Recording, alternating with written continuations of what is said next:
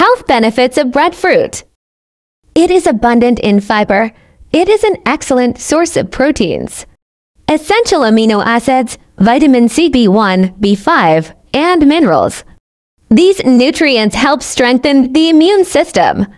By reducing the chances of infections, they also improve skin and hair and aid in bone growth. Follow for more.